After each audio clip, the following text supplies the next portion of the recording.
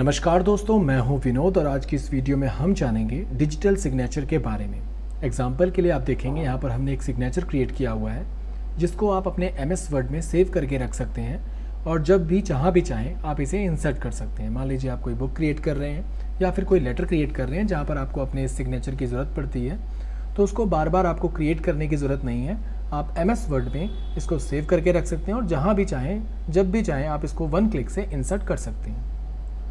हालाँकि M S word भी हमें एक ऑप्शन देता है, जिससे हम डिजिटल सिग्नेचर क्रिएट कर सकते हैं। जैसे कि आप यहाँ पर देखेंगे, यहाँ पर टेक्स्ट के अंदर एक ऑप्शन आपको दिखाई देगा एड अ सिग्नेचर लाइन का।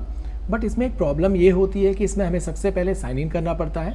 साइन इन करने के बाद ही आप इस सिग्नेचर को क्रिएट कर सकते हैं। और ये हमें सर्टिफाइड करता है कि आप एक माइक्रोसॉफ्ट पार्टनर हैं, तभी आप इस डिजिटल सिग्नेचर का यूज़ कर सकते हैं। मैं सिग्नेचर का भी आपको यूज़ दिखाता हूँ कि आप बिना साइन इन करें आप किस तरीके से इसका सिग्नेचर यहाँ पर क्रिएट कर सकते हैं। और साथ ही साथ अगर आप इस तरीके का सिग्नेचर बनाकर अपने एम एस वर्ड में सेव करके रखना चाहते हैं तो वो कैसे कर सकते हैं? सबसे पहले हम यहाँ पर एक नया पेज ले लेते हैं। नया पेज लेने के बाद सबसे पहले हम जाएँगे यहाँ इंसर्ट टैब के अंदर। इंसर्ट टैब में आप जाएँगे यहाँ पर टेक्स्ट वाले ऑप्शन में और यहाँ पर आपको दिखाई देगा सिग्नेचर लाइन का एक ऑप्शन इस पर जैसे आप क्लिक करेंगे तो यहाँ पर आपको दिखाई देगा सिग्नेचर सेटअप यहाँ पर आपको अपना नाम डालना है। जैसे मान लीजिए हमने डाल दिया यहाँ पर विनोद कुमार पांडे।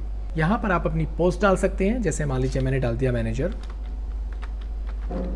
और मैनेजर डालने के बाद यहाँ पर आपके सामने ईमेल आईडी का ऑप्शन है। अगर आप अपनी ईमेल आईडी डालना चाहें यहाँ पर तो आप डाल सकते हैं। और यहाँ पर आपको सिंपली ओके बटन पर प्रेस करना है। और ओके करने के बाद आप देखेंगे आपके सामने यहाँ पर एक सिग्नेचर क्रिएट हो जाएगा, बट ये अभी सर्टिफाइड नहीं है। क्योंकि हमने इसको माइक्रोसॉफ्ट से लॉगिन नहीं किया हुआ है। अब बात करते हैं डिजिटल सिग्नेचर की। तो डिजिटल सिग्नेचर क्रिएट करने के लिए आपको जाना है यहाँ इंसर्ट टैब में और यहाँ पर सबसे पहले आपको शेप में जाना है और शेप में यहाँ पर आपको एक लाइन क्रिएट करनी है। लाइन लेने के बाद आपको यहाँ पर लाइन को क्रिएट कर लेना है।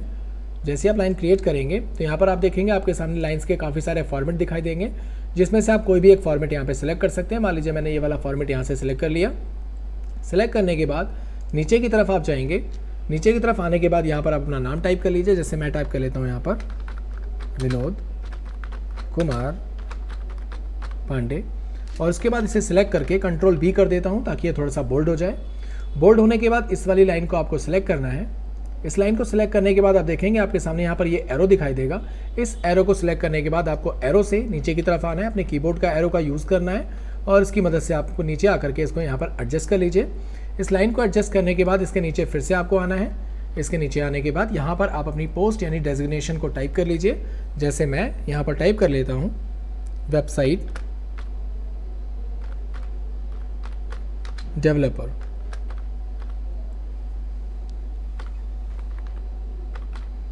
वेबसाइट डेवलपर आप देखेंगे बोल्ड है तो इसको हमें क्या करना है? सिलेक्ट करना है और यहाँ से बोल्ड को हटा देना है।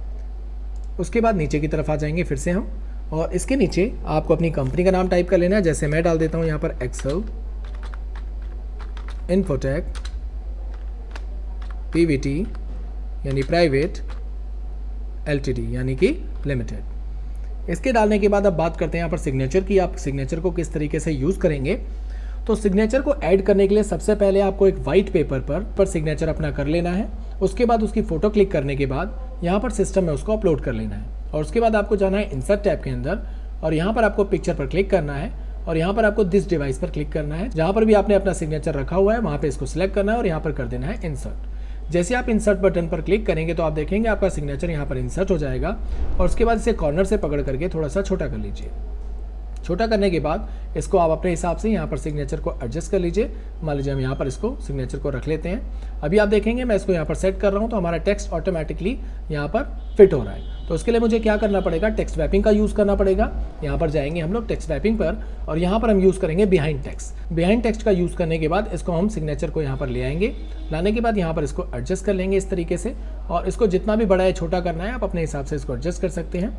अब आप देखेंगे इसका जो कलर है, उस कलर को हमें मैच कराना है, बिल्कुल इसके बैकग्राउंड से तो उसके लिए हमें क्या करना है, इस पर जैसे हम क्लिक करेंगे तो आप देखेंगे यहाँ पर आपके सामने एक पिक्चर फॉर्मेट का एक ऑप्शन दिखाई देगा और इसके अंदर आपको यहाँ पर कनेक्शन का एक ऑप्शन दिखाई देगा।